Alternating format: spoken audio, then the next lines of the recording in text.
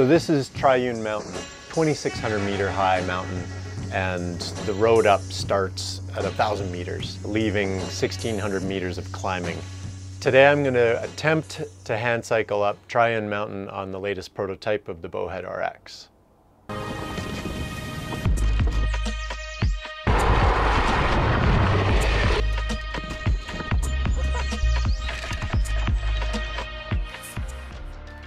So having injured myself almost 25 years ago now as a T7 paraplegic, I always loved, I was a mountain biker before I was injured and I wanted to be a mountain biker after I was injured. But the technology just wasn't there.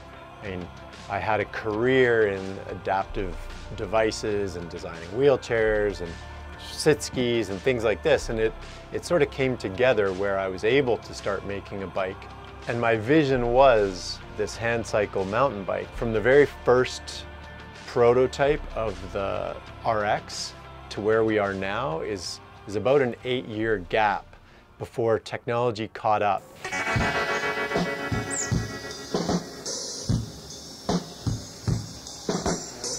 Good morning. My name is Frank.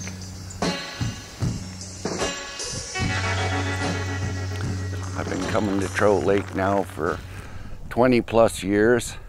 As you can see, it's a gorgeous place.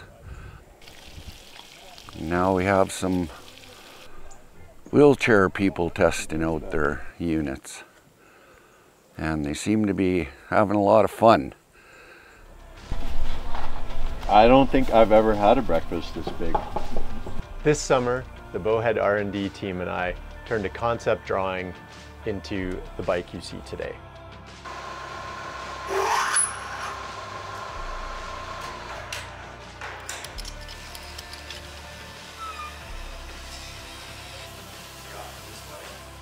Bike we've got today has the leaning and it has the three wheels and it has the backrest and it has all the things that I had control of, but it also is benefiting from all the things that we didn't have control of. The motors, the shifting, the gearing, the tires, the rims. There's, there's so much technology that came together at the perfect time to hopefully have made the perfect bike. The plan is to go to Trout Lake, BC, uh, meet up with Ryan, our mountain guide, and, and see if this thing can actually go up a mountain. That's the goal. That'll be the success. We'll know we've got it.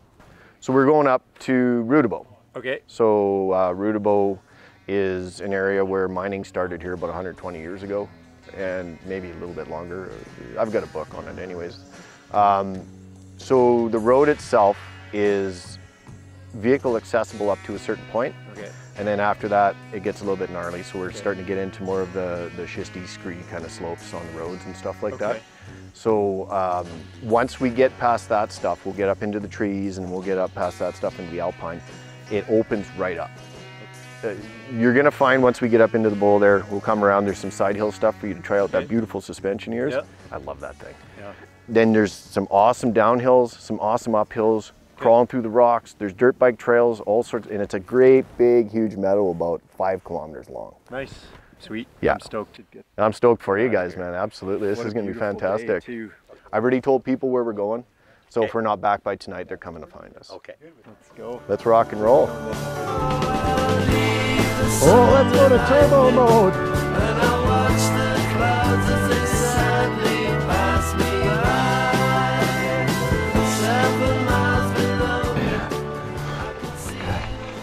All right, we got Christian's log, two kilometers. We just uh, tickled the red zone there, so in the heart rate.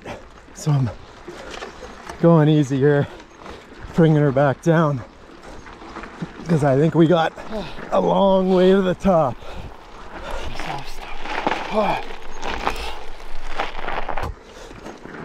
Ah. I got to hunt for traction on these, but I'm on like a 15%, 18% grade right now. But it's good. You can kind of get into that zone where you're just keeping your heart rate where where you know you can keep it plugging away. I never thought that I would hand cycle up a mountain, you mm. get this sort of euphoric feeling that you don't get in a motorized vehicle. You're in your own little world and and the, the tweets from the birds become louder and the sun becomes brighter and, and your breaths resonate through your head.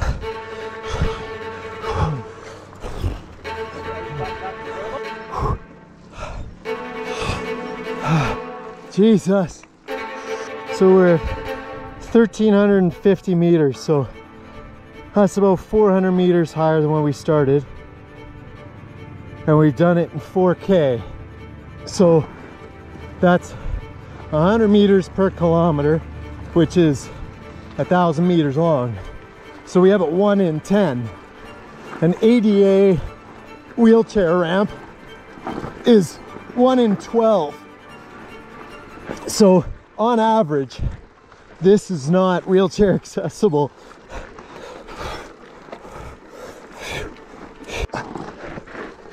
And I'm, oh, I gotta pick my line and try and stay, Jesus, back over the wheel. A nice consistent crank.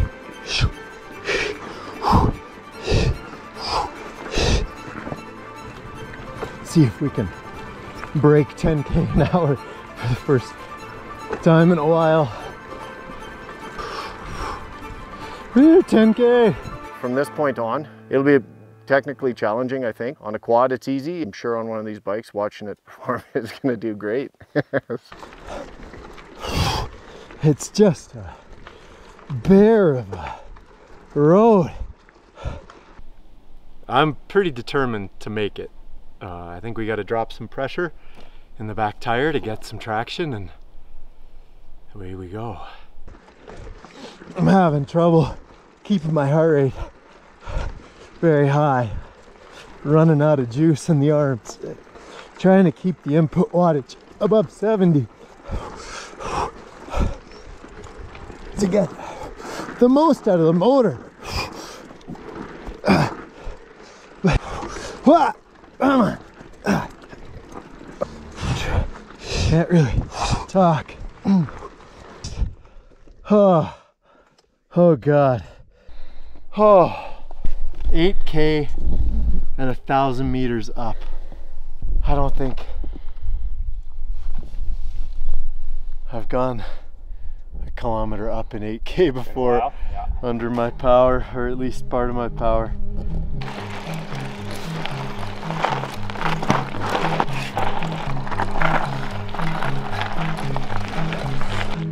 She's a machine. Oh.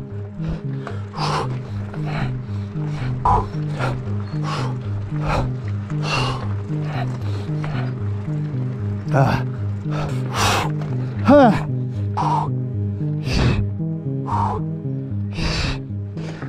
Oh, fuck. Ah. If I was fresh, maybe something different would be going on, but So close. I'll get it.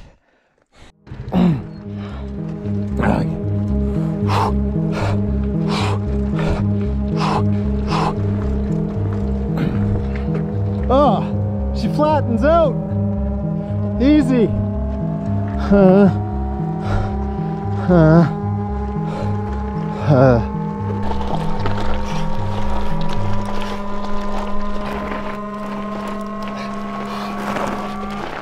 Oh, fuck. I think we might be stuffed. But pretty incredible. We've done over a kilometer up, 3,300 feet. This is prototype number two, uh, with two more planned before production. Not a single thing has gone wrong, which is pretty incredible. A chain hasn't skipped, nothing's loose. It's as good as the moment we put it together. Here we go.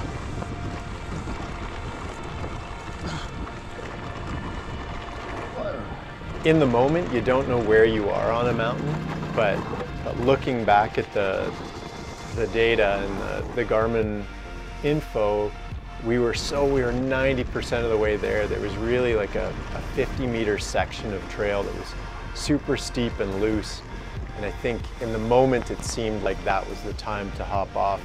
But knowing now where we were, I think with with fresher arms or a little more fitness and some better line choice, I, I believe we could have made it up to the top that day.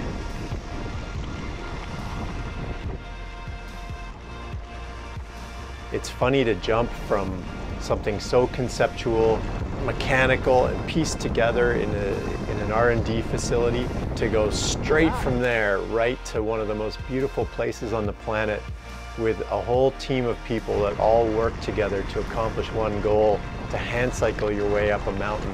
It was magical.